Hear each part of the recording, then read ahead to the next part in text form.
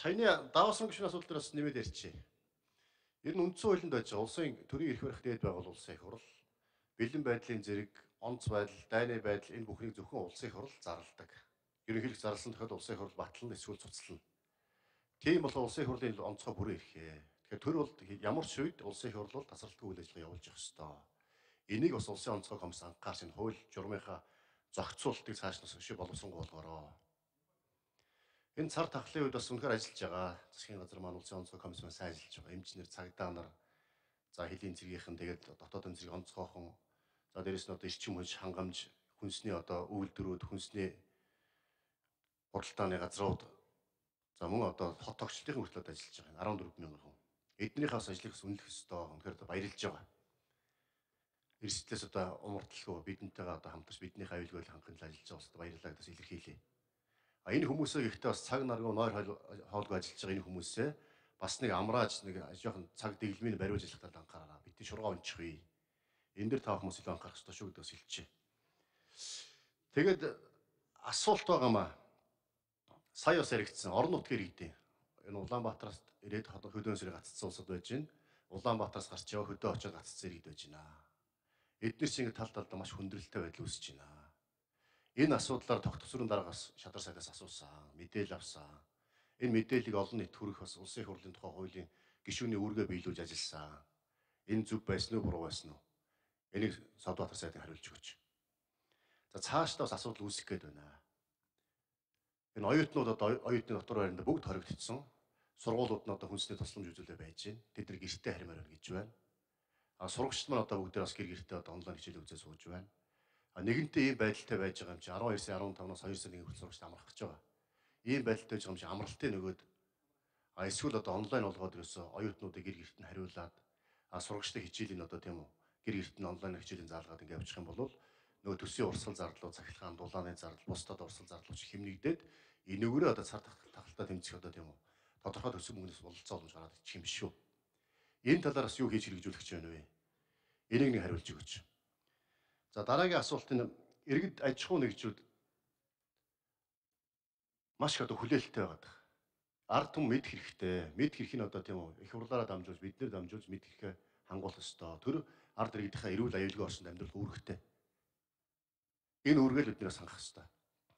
Энэ хүрээндээ одоо 5 давхар дарамтанд амьдраад байна. Татварын цалин хөлсний за аж ахуйн нэгжийн цалин хөлсөө яаж өгнө гэдэг асуудал үүсэж байна. Иргэд нь цалин хөлс өгөх болоо өгөхгүй болоо асуудалтай байж байна. Зээлээ яаж төлнө, зээлийн хүүгээ яаж төлнө асуудал үүсэж байна. Нийгмийн даалгавар шимтгэлүүд тасарчих асуудал үүсэж байна. Түрээс одоо За бям зөвшөөрөх нэг минут бодлоо.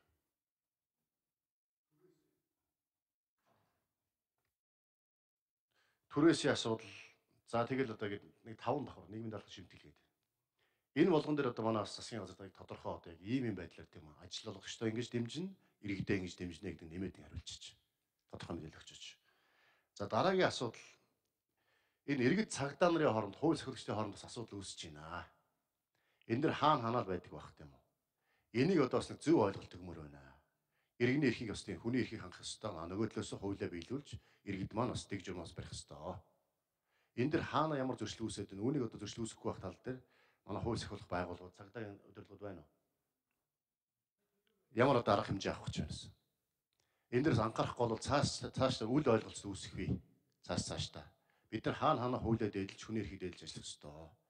Энэ тал дээр манаас Нямбатар сайд бас тодорхой ямар хэмжээ хийж хэрэгжүүлэлээр энэ гэр бүлийн хүчирхийлэл бас тийм орон байрны одоо гэр бүлтэй хоригдож байгаа тоолууд архитал үүнийг дагаад гэр бүлийн хүчирхийлэл стресс бас нэмэгдэх За Содбаатар сайд, Нямбаатар сайд цагдаагийн дараа орондоо болд байсан дөрөв. Аа за за. За бид бүхэн бол энэ ковид-19 цар тахлын дотооддоо алдсантай холбогдуулж бүх нийтийн хууль заасны дагуу бүх нийтийн бэлэн байдлын зэрэг шилжин ажиллаж байгаа. Энэ үед ер нь ковидын үед одоо ажиллах парламент улсын хурлын гишүүдийг хэрхэн ажиллахыг би зааварлаж зааварлах эрх байхгүй. Энэ улсын хурл өөрийнхөө хуулиар өөрийнхөө зохицуултаар явж байгаа гэдгийг бас хэлье. За орон нутгийн иргэдийн асуудлаар бид нарсан санаа зовж байна. Өнөөдөр албаар одоо хүрээд ирсэн 500 гаруй хүн байна. За хувийн үгээр хүрж ирсэн нэлээд олон мянган хүн байгаа. Бид нар нэг үрчлэн бас тандан судалгаа хийж байна. За энэ хүрээнд одоогоос 4 хоногийн өмнө Улсын онцгой комиссийн шуурхай штаб дээр яригдсан. Бид нар байдлага гайгүй байгаад жолооч тэр дэгээс гаралтай энэ голомтыг тэр үед бол ганц голомттой байсан. Энэ үед бид нар одоо энэ 18-наас эхлүүлээд шинжилгээг нь аваад тэр хүмүүсийг энд нь бүртгээд бүртгэлжүүлд ороод уцанд нь тодорхой аппликейшн суулгаад тэнд очих эндээс гарахт нь цагдаа нар бүртгээд тэнд гарахт нь цагдаа нар бүртгээд гаргаж болох юмаа гэсэн ийм төр журмыг бид нар гаргаад холбогдох байгууллагуудад ярьж ирсэн. Харамсалтай цаг үе нөхцөл байдал бид нарын одоо тооцож байгаагаар явж байгаа зүйл алга байна. Энэ асуудлаар дотгосрын дарга тухайн үед улсын хурлын гишүүд тойргоос ингэж ярьж байна гэдгээр би дотгосрын даргад мэдээлэл өгсөн үнэн. А энэ асуудлаар өнөөдөр өнөөдрийн нөхцөл байдал бол энийг энэ хүмүүсийг гаргаж болохгүй байна. Оюутны байгууллага байрны тэгэхэд өнөөдөр 12500 гаруй оюутан байна. Зарим одоо ойрын хавьтлууд энэ оюутны байранд байгаа. Тэр гаднаас ирсэн хөдөөнөөс ирсэн гэдэг байгаа хүмүүс ойрын хавьтал болон дам хавьтлын хүмүүстэй бас нэг герт нэг одоо галтгоонд нэг байр байшинд байгаа. Тэгээ эднэрийг гаргаа явах юм бол тэр одоо бүс нутагт дахиад бидэрт хүндрэл учруулах явуулсныхаа араас тэр хүмүүсийн араас тэр одоо бүс нутагт амьдарч байгаа тэр сумд амьдарч байгаа 2 3 мянган хүн тэр аймагт амьдарч байгаа 50 60 100 мянган хүнд хүндрэл гарчих гээд байгаа маа. Тийм учраас би өчтөр бас хэлсэн. Ард тамиг дээр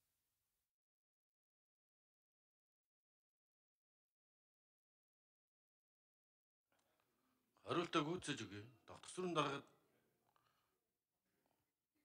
80 дугаар микрофон. Тэгэхээр энэ одоо 12 сарын 1 хүртэл энэ хүмүүсийг байж байгаа ч энэ одоо шинжилгээ юунууд авах бид нар журам бид нар энэ гаргацсан байна. Нэгдсэн байдлаар ингээ гаргаад явуулах зохицуулт хийхийг бодож байна. Гэхдээ энэ өвчний нөхцөл байдал тархалтын байдлаас бид нар энэ чинь шалтгаална шүү дээ. Биднээс одоо шууд шалтгаалаад эсвэл энэ хүмүүсийг энд нь хорж байлгаад байгаа ийм гүчээр байлгаад байгаа зүйл биш шүү дээ. Энд өвчний давхар судлал түрүү яриад энэ тэр шинжлэх ухаанч бай гэж тэр мэрэгжлийн хүмүүсийн ч үг ярианд орж ингэж байгаад байгаа гэдгийг одоо манай ард иргэд бол сайн ойлгосон байхаа гэж ингэж бодож байна. Энэ орон нутгийн иргэдтэй холбоотой нөхцөл байдалтай холбоотой юмнуудаар бид нар нэлээ одоо тодорхой шийдвэрүүдийг хэлж байгаа. За энэ хууль сахиулах асуудалтай холбоог Нямбатар сайд таниулах. Хөрлөбаатар сайд. Нямбатар сайд. Сэдв сүрэн сайд гэсэн дараалал. За Хөрлөбаатар сайд. За, бямцагт шинэ асуултанд хариулъя. Ер нь энэ эдийн засгийг талаар эдийн засгийг дэмжих талаар а ямар арга хэмжээ авах вэ гэд засгийн газар өчигдөр хуралдаад нийтдээ 23 заалт өгье. а одоо тогтоол гаргасан өчигдөр ерөнхий сайд засгийн газрын гишүүд одоо хэвлэлийнхэнд бүтэн 3 цагийн туршил энэ танилцуулсан. Тэгээ би танд энэ тогтоолын төслийг вебрээр явуулчаа.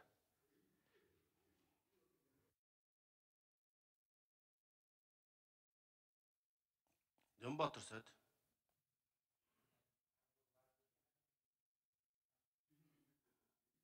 За би бям төгтгшөөний асуусан асуултанд хариулъя. За эхнийхэн дээр инх сарын сувилттай холбоотой асуудал. Цагдаагийн байгууллага дээр инх сарын сувилт халдвар хамгааллын дэг журам хаана алдагдсан бэ гэдэг талаар шалгалтын ажиллагаа явуулаад эхэлсэн явж байгаа. Өнөөдөр надад бас энэ талын мэдээллийг танилцуулна гэсэн. За хоёрт нь энэ иргэд хууль сахиулагчдын хооронд янз бүрийн зөрчилдөөн үүсэх үедээ өчигдөр олон нийтийн хэвлэл мэдээллийн байгууллага олон нийтийн сүлжээгээр зайсан нэг залуу цагдаагийн ажилтны тавьсан шаардлагыг эсэргүүцэж бид нь халдах үйлдэл хийсэн талаар ийм олон нийтийн мэдээлэл хэрэгслэр явсан. Энэ дээр би өчигдөр цагдаагийн ерхий газрын дарга цагдаагийн орондоо болдод албаны шалгалт явуулаа. Энд хууль ёсны шаардлага байсан уугүй юу? Энийг эргэж танилцуул гэдэг үүрэг өгсөн байгаа.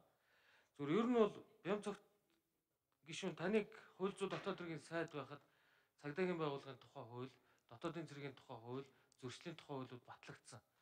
Эдгээр хуулиудад цагдаагийн байгууллагын ажилтны хууль ёсны шаардлагыг биелүүлэх ёстойг иргэдэд хуульчилж өгсөн. Хоёрдугаар зөрчлийн тухай хууль болон бусад хууль тогтоомжоор хууль сахиулагчийн тавьсан хууль ёсны шаардлагыг биелүүлээгүй тохиолдолд хариуцлага хүлээлгэх албадлагын арга хэмжээ авах талаар бас хуульчилж өгсөн. Ер нь дэлхийн аль ч улс оронд цагдаагийн алба хаагчийнхаа өдөөс бид нь халддаг ийм одоо дэг журам гэж хаач байхгүй. Сүүлийн үед одоо залуучууд зам дээр гарч ирээд цагдаагийн алба хаагчдыг түлхдэг, цогтөг ийм одоо үзэгдлүүд бас их тийм түгээмэл болоод байна. Тэгэхээр би бол цагдаагийн байгууллага албаа гэж юу гэж хэлж байгааг бол тэр цагдаагийн байгууллагын тухай хууль заасан тэр дүрм журмын хүрээнд дээрээс өгсөн үүрэг даалгаврын хүрээнд тэр журам энэ бүх нийтийн бэлэн байдлын зэрэг шилжүүлсэн үеийн тэр дэглэмийг сахиулах ёстой. А энэ дэглэмийг сахихаас татгалцсан тоо.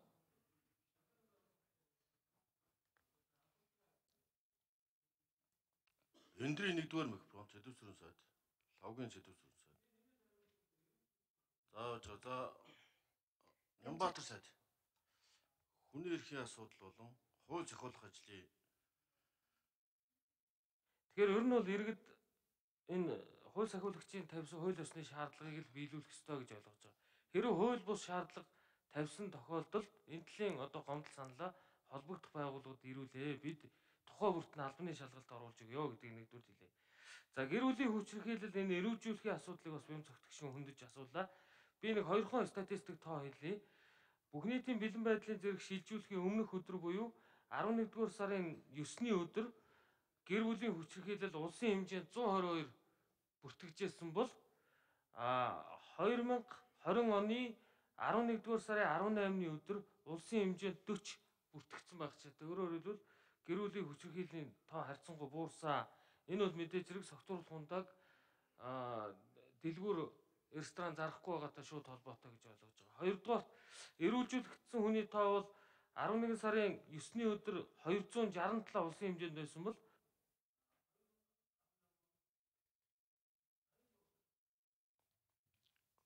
83 байна 2020 онд 83 байна гэж. За нэгдүгээр микрофон сэдвүүсрэн сайд. Бямцаг тгшүүний асуултанд хариулъя.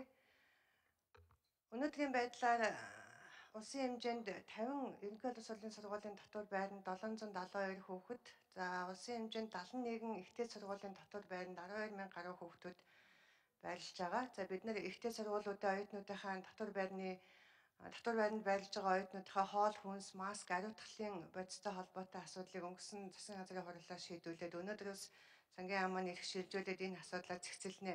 За ер нь нэгдүгээр удирлын хичээл ерөнхий улс хурлын сургуулиуд бол а, 18-нд дуусах хэвээр 12 сарын за ихтэй сургуулиуд маань бол 1 сарын 5-нд дуусах хэвээр байгаа. Гэхдээ бид нэр дараагийн 7 хоногийн онцгой комиссийн хуралд асуудал оруулж эхний удирлын хичээлийг онлайн болоод буюу теле хичээл явуулж дуусгаад а ерөнхий улс хурлын сургуулийн хүүхдүүдийг бол 2 сарын 1 хүртэл ихтэй сургуулийн оюутнуудыг бол 2 сарын 15 хүртэл бол онлайн теле хичээл явуулах. За тэгээд удирлын амралтыг нь бол өгөхөд төлөвлөж байгаа. За хоол хүнсний хувьд бол өнөөдрөөс ингээд ихтэй сургуулиудын маань асуудал бол гайгүй цэгцгээ явж хаах гэж очиж байгаа. За яг энэ бэлэн байдлын зэрэг шилжсэн 14 хоногийн хугацаанд бол ихтэй сургуулийн оюутнуудыг дотор байрнаас гарах боломжгүй. Бид нар эрүүл мэндийн яамтайгаа хамтраад төрөвчлсэн онцлогоогоор оюутнуудаа бол онцлуулах ажлыг бол эхнээс нь хийгээд эхэлсэн байгаа. Тэгээд зарим ихтэй сургуулиудын дотор байранд бас голомт байх магадaltaй гэж үзэж байгаа учраас эхнээс нь оюутнуудаа шинжилгээнд хамруулад эхэлсэн. Тэгээд 12 сарын 1-ээр хугацаа дуусвал оюутнуудыг бол орон хөдөө орон нутгийн оюутнуудыг гэртэн гаргахын арга хэмжээг бол тусгай одоо гормоор зохион байгуулахаар төлөвлөөд бүх ажил бэлтгэл ажлуудаа бол хийгээд явж байна.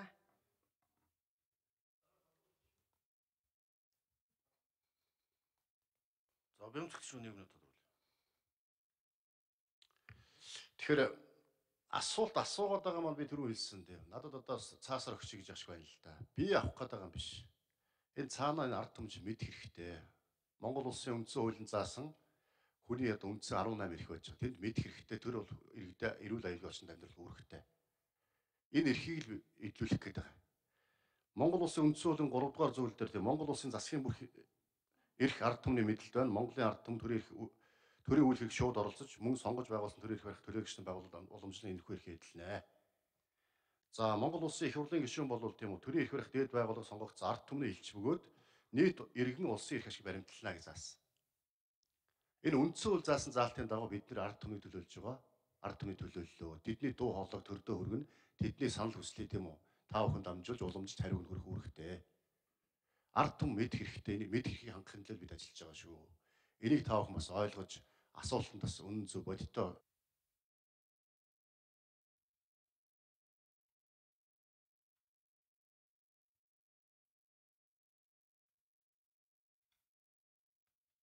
자, 싸다.